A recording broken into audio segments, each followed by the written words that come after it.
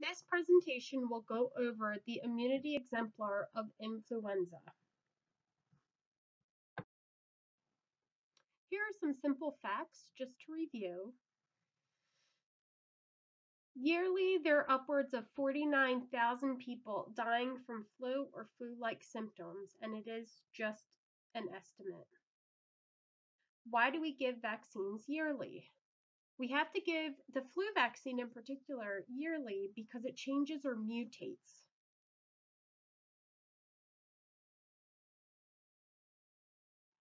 There are certain kinds of flu. Uh, several years ago, they had a bird flu, H1N1, that had been administered along with the yearly flu vaccine that was made at that time. The problem is our vaccines here in the United States are developed based on what happens in Asia. And as the virus mutates, we may, may not be always able to capture it prior to the beginning of administration from our intents and purposes.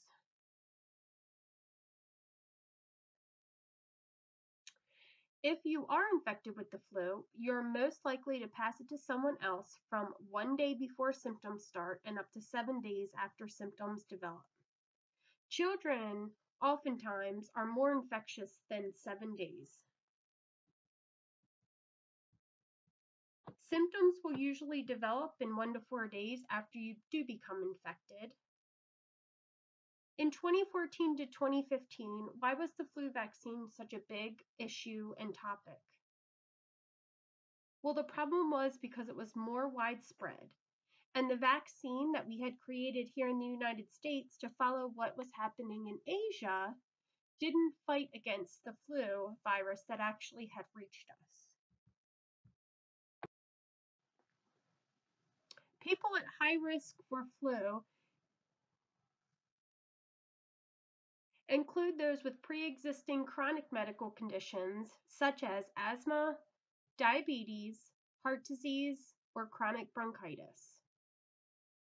Anyone can get the flu, even healthy people, and only serious problems related to the flu can happen really at any age. But those who have pre-existing medical conditions are at much higher risk of developing more serious flu-related complications if they are to get sick from the flu virus. We also need to consider the aging population at 65 years or older. And this too poses a factor because they have the higher incidence of chronic medical conditions. Pregnant women and young children are also at risk.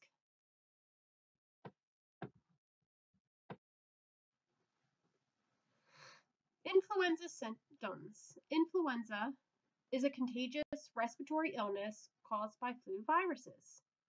Typically, it will cause mild to severe illness and at times can lead to death if it gets severe enough. The flu, however, is different from the cold. It will usually come on suddenly, and people who often suffer with the flu and have the flu virus feel most of these symptoms. They include fever or feeling feverish or chilly, a sore throat with a cough, muscle and body aches that are all over, a runny, stuffy nose, complaints of headaches, severe fatigue, lethargy, some people will suffer with vomiting and diarrhea, but this is more commonly seen in children than adults. And it is important to note that not all patients suffering with the flu virus will have a fever.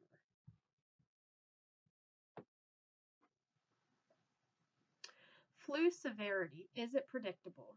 The flu is unpredictable, and how severe it is can vary widely from one season to the next, depending on many things, including what flu virus is spreading, how much flu vaccine is actually available, when the vaccine is available, and how many people get vaccinated.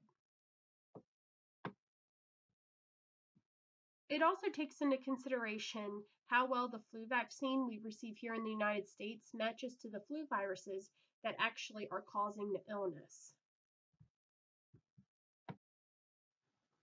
Complications. Most people who get the influenza virus will recover in a few days to less than two weeks, but some people can develop alternative complications such as pneumonia, bronchitis with sinus and ear infections. These can oftentimes lead to life threatening infectious processes and can ultimately result in death. When we're thinking about the patient populations that we've talked about, complications are more common with people who have pre existing chronic health problems or medical conditions. For example, people with asthma may experience asthma attacks while they have the flu. People with congestive heart failure may experience worsening of their condition, which is then ultimately triggered by the flu.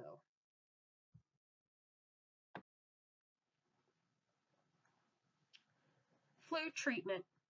Antiviral drugs are the most commonly prescribed drugs given to patients after they've been diagnosed with the flu.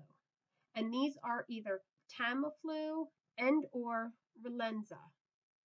These are prescription medications and unfortunately are only effective because they're antiviral drugs within 2 days of the onset of symptoms. They can be started and will be helpful at, to some extent after this time, but most healthcare professionals will only prescribe if it's caught early enough with the symptoms. The flu treatment also will depend on your symptoms. If you have nasal or sinus congestion, they may prescribe a decongestant, which could be over the counter. It could be oral or it could be in nasal spray form. The decongestants will help reduce swelling in any of your nasal passages.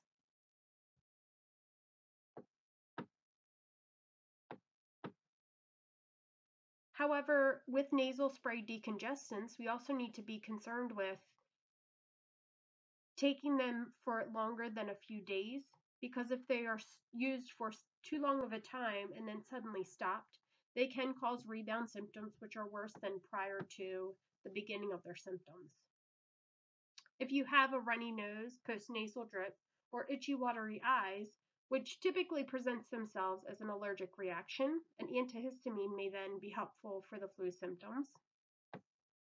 And antihistamines will block the effect of histamine and help relieve such annoying symptoms as sneezing, itching, nasal discharge. Over the counter, antihistamines often will make people drowsy, whereas to the opposite effect of that, decongestants can actually cause more hyperactivity and will keep patients awake.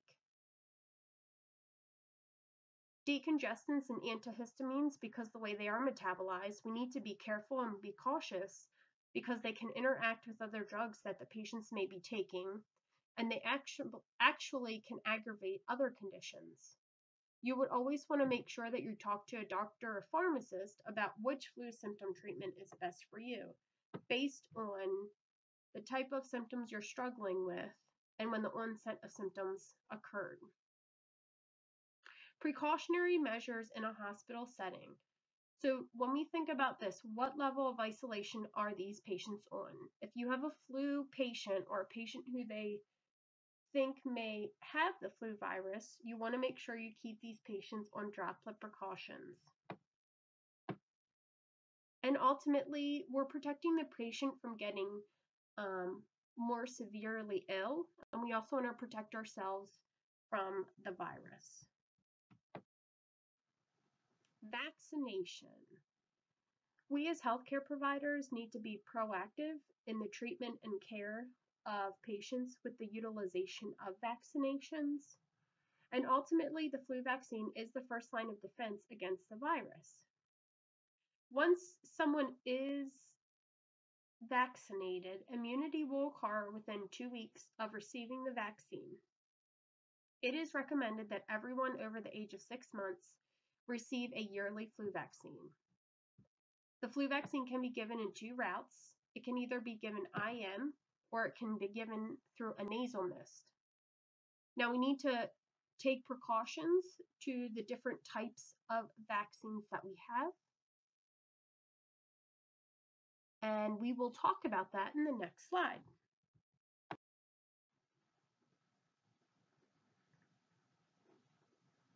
Injection.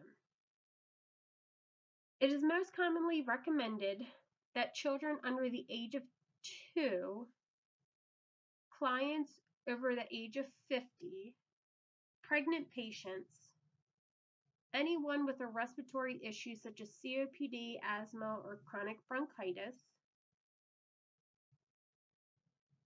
receive the injectable vaccine. It is an inactive virus, so that's why it's more commonly used with children and those pregnant patients, along with those who are already previously suffering with respiratory issues. If children do receive uh, their first flu vaccine, they will need a second booster only after the first time they're administered. And they also will need a booster if they have not received the vaccine prior to the two previous seasons. The nasal spray is an active virus, and we should only be administering the nasal spray to patients between the ages of 2 and 50 with a completely healthy immune system. It is contraindicated for those patients who have had previous allergic reactions to the vaccine itself, any allergies to eggs and chicken, which is in the inclusion exclusion criteria prior to getting the flu vaccine, and if a patient has suffered with Guillain Barre syndrome. Guillain Barre syndrome is a neurologic disorder manifesting with paralysis, starting with weakness in your lower extremities and changing into alterations in breathing.